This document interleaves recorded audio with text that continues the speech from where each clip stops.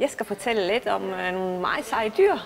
Nogle, der kan holde sig øh, med at leve fuldstændig uden ilt i lang tid.